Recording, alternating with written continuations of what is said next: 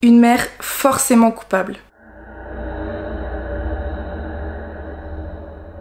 Alice et Eddie Crimmins vont avoir deux enfants, Eddie Junior et Missy. En 1965, ils décident de se séparer. Mais pour le moment, pas de divorcer. Ils vont vivre une séparation très très compliquée. Alice va tromper Eddie plusieurs fois. Lui, de son côté, il va faire que de l'espionner. Il veut absolument la garde des enfants et veut prouver qu'elle l'a trompé pour qu'ensuite il puisse avoir la garde complète. Donc ils sont en très très mauvais termes tous les deux. C'est le 14 juillet 1965 que Alice va se rendre compte que ses deux enfants ont disparu. C'est une journée qui commence normalement. Alice se maquille, se prépare, va sortir le chien puis retourne chez elle pour ensuite pouvoir réveiller ses enfants. Sauf que quand elle rentre dans la chambre des enfants, il y a personne. Ils sont plus là. Donc elle commence à faire le tour de la maison, elle se dit peut-être qu'ils se sont levés avant elle, mais il y a vraiment personne. Elle commence à faire le tour du voisinage, mais personne ne les a vus. Elle essaye d'appeler Eddie pour savoir si c'est lui qui est venu chercher les enfants sans qu'elle soit au courant, mais lui, il les a pas et en plus, il ne les a pas vus. Eddie se rend tout de suite sur place, les recherches commencent assez rapidement. On trouve les enfants nulle part, personne ne les a vus. Le jour même, en fin d'après-midi, on va retrouver le corps de Missy, à un kilomètre de la maison. Elle est déshabillée, enfin elle est en pyjama mais elle n'a pas son bas de pyjama, elle est pieds nus et elle a été totalement massacrée. Tout de suite, une enquête pour homicide ouvre. Les recherches vont continuer pour le petit Eddie Junior et c'est le 19 juillet qu'on va le retrouver dans un autre terrain vague, pas loin de la maison non plus. Et on va retrouver qu'une partie de son corps. En fait, euh, il a fait tellement chaud cet été-là qu'il s'est fait dévorer par toutes les bêtes qui passaient et les insectes en, ont fait un carnage quoi. À ce moment-là, c'est une enquête pour double homicide qui est ouverte. Les premiers suspects, c'est les parents. Les deux vont décrire leur nuit du 13 au 14 juillet et il y a rien de suspect en soi. Eddie, lui, euh, est resté chez lui à regarder un certain film.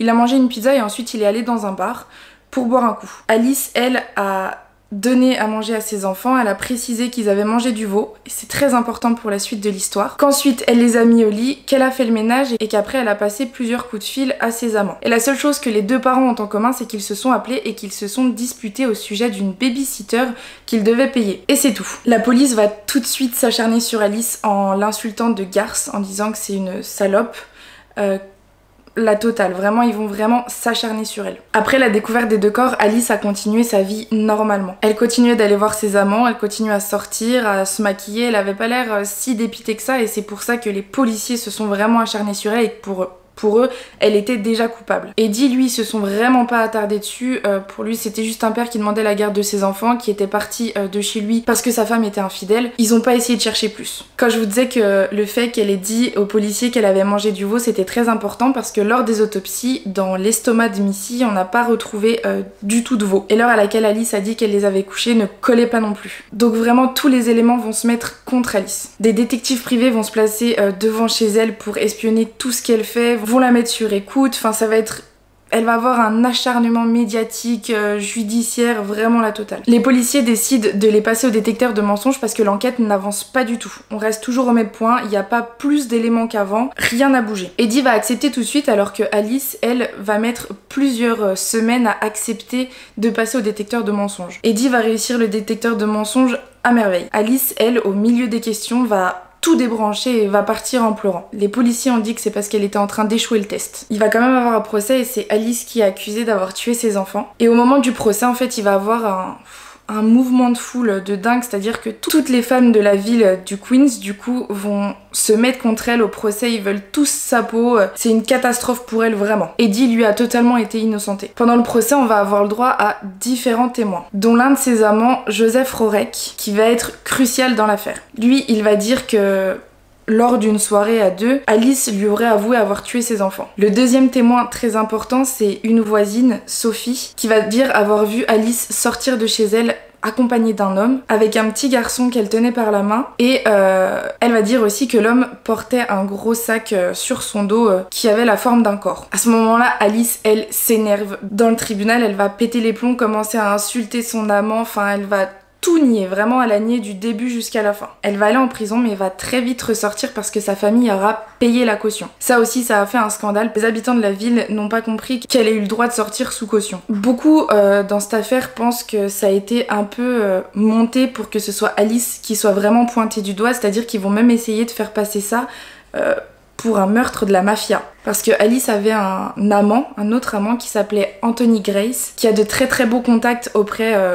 de la police, de tout le monde, et du coup, euh, personne n'a trop euh, forcé pour l'interroger lui. Donc du coup on l'a un peu laissé de côté mais du coup beaucoup de personnes ont pensé que c'était un crime de la mafia vu que beaucoup de monde ont fait passer ça pour un crime comme ça ça a été démontré que non, ce n'était pas un crime de la mafia. Le 23 avril 1971, elle va être reconnue coupable pour le meurtre de ses deux enfants. Elle va rester très peu de temps en prison, c'est en 73 qu'elle va ressortir, cette fois-ci pour faute de preuves, parce qu'ils ont rouvert le dossier.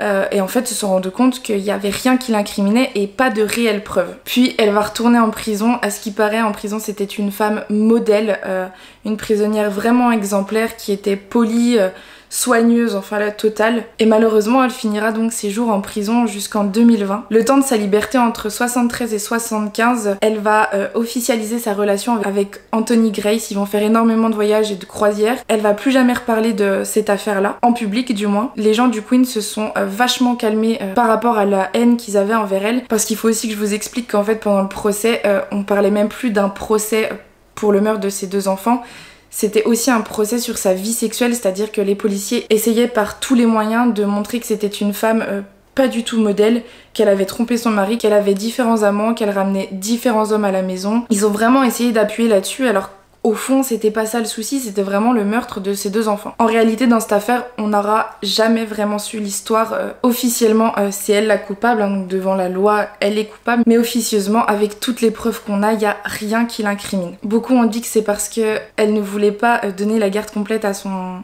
ex-mari qu'elle les avait tués. D'autres ont dit que non, ce n'était pas elle. C'est un peu confus comme histoire. Les témoignages de Sophie, sa voisine, a vite été démontrés son mari est venu lui aussi témoigner en disant que Sophie euh, était une mythomane, qu'elle avait des problèmes psychiatriques. Donc ça non plus, ça n'avait pas été pris en compte. Et pour ce qui est du témoignage de Joseph Rorek, on n'a jamais eu la preuve que Alice lui ait dit que c'était elle qui avait tué ses enfants. Pour ma part, c'est une affaire pas totalement résolue parce que on n'a pas vraiment le fin mot de l'histoire à part le fait qu'on s'est acharné sur une femme parce que elle avait euh, plusieurs amants et je trouve ça un peu dégueulasse et ça se trouve on a enfermé une femme qui en fait était innocente. Dites-moi ce que vous en avez pensé en commentaire. Dites-moi si vous connaissiez cette affaire là ou non parce que cette affaire là a vraiment fait parler d'elle aux États-Unis et beaucoup moins en France mais je trouvais ça intéressant de vous en parler. N'hésitez pas aussi à vous abonner et on se retrouve pour une prochaine vidéo.